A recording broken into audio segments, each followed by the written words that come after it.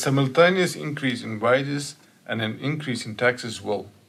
Now, with some questions, it's just easier to draw diagrams. We're working in the AD-AS model, so that's where we start. Price, and income, aggregate demand, aggregate supply, and we start with certain equilibrium price level and income level.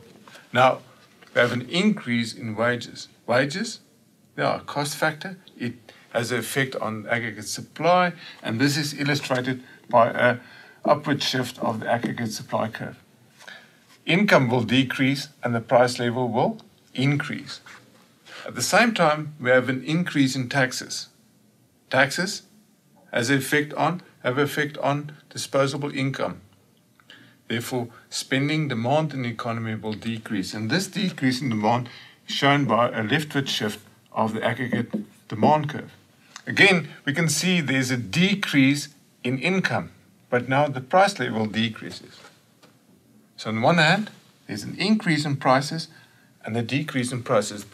The effect on the end, now that's uncertain. We're not sure if we don't know what the relative size of the shifts in, in aggregate demand and aggregate supplies are, what the effect on prices will be.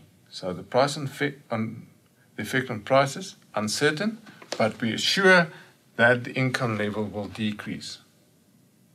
That's what we know about this statement. So we just have to look. Statement four, well, the increase in wages and increase in taxes have an uncertain effect on prices but will decrease output. That is what is correct. Statement 4. Ignore the rest.